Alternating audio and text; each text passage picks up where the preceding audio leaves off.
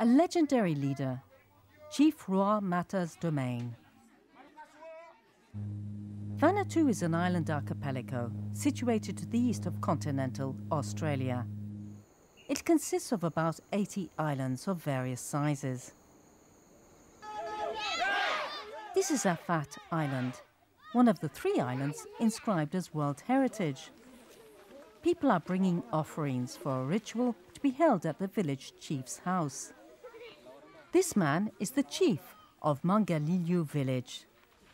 The pig represents wealth, and people here believe that one can gain supernatural power through killing one. This ritual also represents the power of the chief.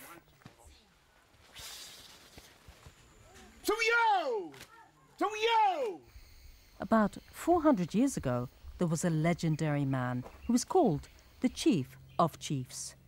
His name is Roi Mata. This is Mangas, where Roi Mata used to live.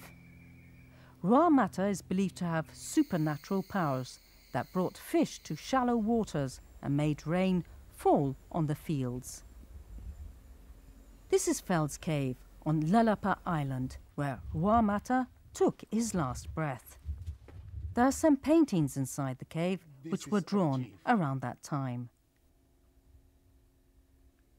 Roi Mata was also worshipped because he brought peace to these conflict-torn islands. His legend lives on to this day through dramatic reenactment.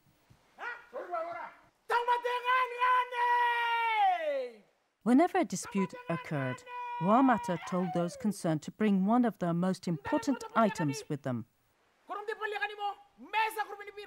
If both parties bought the same item, such as leaves and stones, they became brothers from that day on. This unique tribal system of justice called Naflak dramatically reduced the number of disputes. The great chief Roi Mata is believed to have been buried on this Artok island after his death. The oral legend regarding Roi Mata became fact when archaeological evidence of his existence was confirmed. The remains of 50 people were also found with him.